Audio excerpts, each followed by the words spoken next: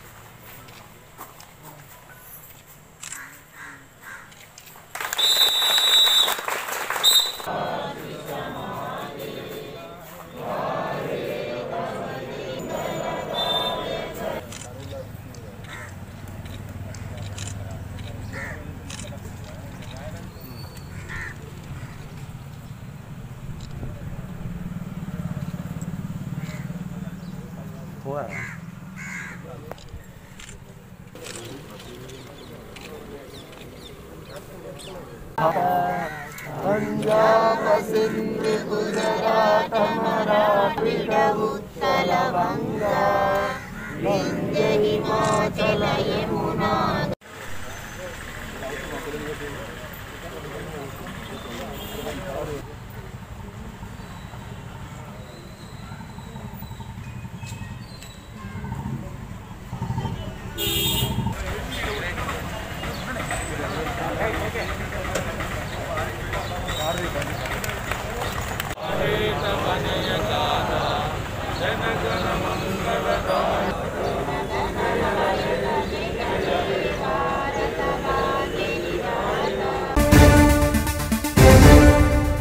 పెద్దపల్లి జిల్లా రామగుండం పారిశ్రామిక ప్రాంతంలో డెబ్బై ఐదవ స్వాతంత్ర దినోత్సవ వేడుకల్ని ఘనంగా నిర్వహించారు.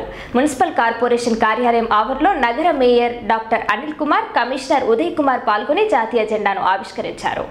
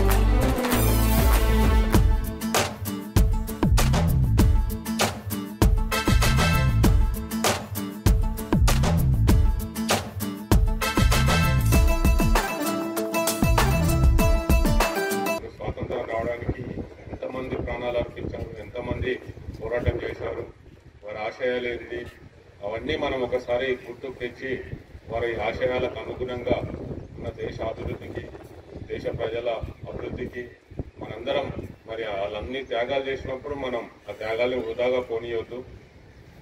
మనం కూడా మరి దాని కొరకు ఆ ఆశయాలు సిద్ధించడం కొరకు మనందరము ఈరోజు స్వాతంత్ర దినోత్సవం సందర్భంగా మరొకసారి అందరం గుర్తు తెచ్చుకొని ఆ దిశగా మనందరం కష్టపడాలి. కష్టపడి భవిష్యత్తులో ఇంకా దేశం ఇంకా ముందుకు అభివృద్ధి చెందడానికి మనందరం పాల్గొనాలని ఆశిస్తూ మరొకసారి ఈ డెబ్బై ఐదవ స్వాతంత్ర దినోత్సవ శుభాకాంక్షలు తెలియజేస్తూ ముగిస్తున్నాను.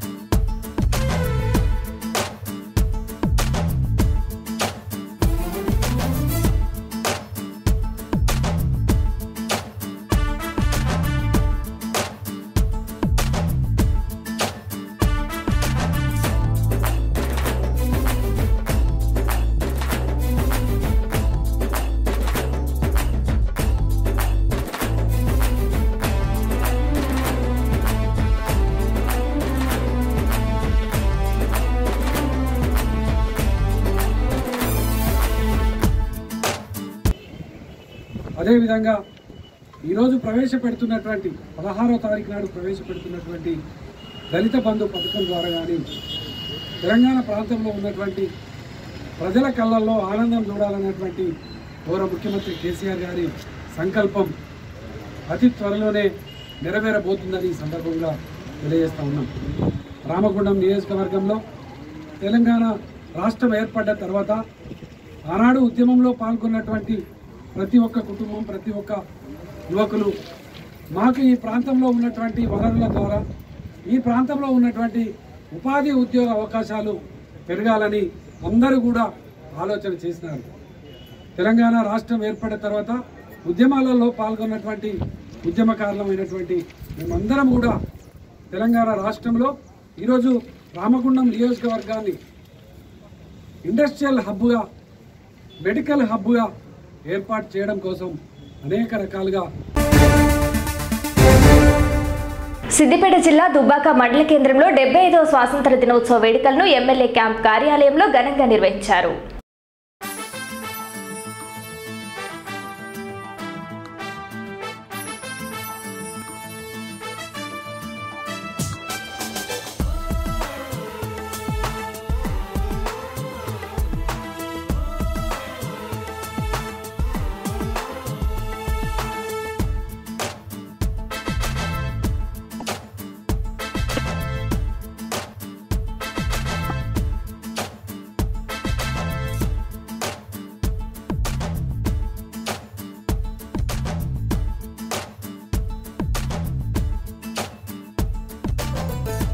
భారతదేశానికి స్వాతంత్ర్యం సిద్ధించి డెబ్బై ఐదు సంవత్సరాలైనటువంటి ఈ శుభతరుణంలో స్వాతంత్ర ఫలాలు దేశ పౌరులకు అందాలని ముఖ్యంగా పేద బడుగు బలహీన వర్గాలకు సంబంధించినటువంటి ప్రజలందరికీ కూడా ఈ దేశ స్వాతంత్ర ఫలాలు అందాలని భారతీయ జనతా పార్టీ సంకల్పం.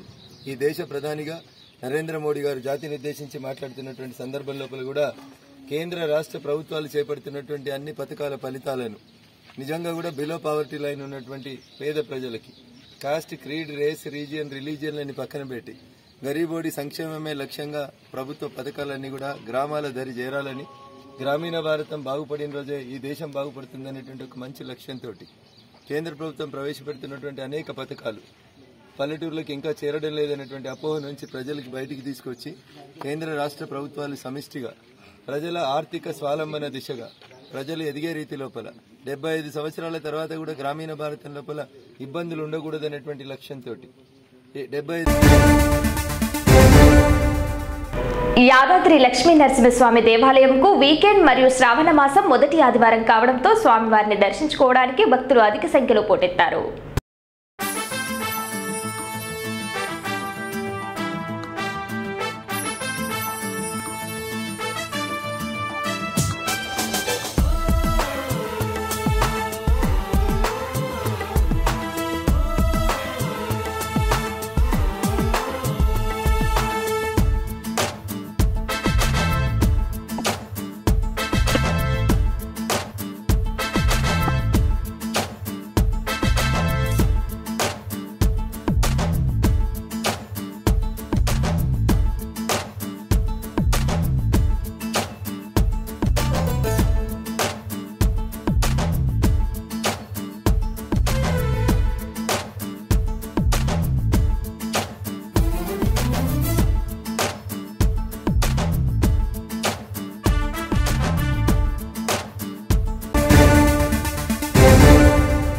యాదాద్రి భువనగిరి జిల్లా ఆలేరు నియోజకవర్గంలో స్వాతంత్ర దినోత్సవ వేడుకల్ని ఘనంగా నిర్వహించారు. ఆలేరు మండలంలోని ప్రభుత్వ కార్యాలయం వద్ద త్రివర్ణ పతాకాన్ని ఎగురవేశారు.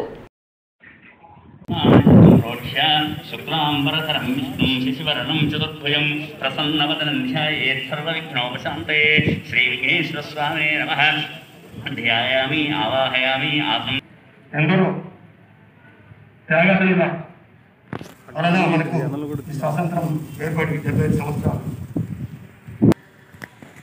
ఉమ్మడి ఆంధ్రప్రదేశ్లో దేవాలయాల పరిస్థితి మరింత దీనంగా ఉండేటువంటి పరిస్థితి. తెలంగాణ రాష్ట్రం ఏర్పడిన తర్వాత ముఖ్యంగా యాదగిరి క్షేత్రాన్ని తీసుకోవచ్చు. ఈరోజు మరి ఈ దేవాలయం తెలంగాణ ప్రభుత్వం తీసుకుంటున్నటువంటి శ్రద్ధతోటి దేశంలోనే అత్యున్నతమైనటువంటి దేవస్థానంగా విరాజిల్లబోతున్నది. ఈరోజు పెద్ద పెద్ద వాళ్ళు వచ్చి కూడా ఈ క్షేత్రాన్ని సందర్శించి చాలా అద్భుతంగా ఈ ప్రభుత్వం చర్యలు కైగొంటుందని తెలియజేస్తూ వారు ప్రశంసలు కురిపిస్తున్నారు. అందుకు తెలంగాణ ప్రభుత్వానికి దేవస్థానం తరపున ఉద్యోగుల తరఫున అందరి తరఫున నేను ప్రత్యేకంగా ధన్యవాదాలు తెలియజేస్తా ఉన్నాను. గత సిద్దిపేట జిల్లా దుబ్బాక మండల కేంద్రంలో నూతనంగా నిర్మించబడిన శ్రీ వెంకటేశ్వర దేవాలయంలో విగ్రహ ప్రతిష్ట మహోత్సవం ఈ నెల పదిహేను నుండి ఇరవయో తేదీ వరకు ఉత్సవాలు నిర్వహించబడతాయని ఆలయ ట్రస్ట్ సభ్యులు తెలిపారు.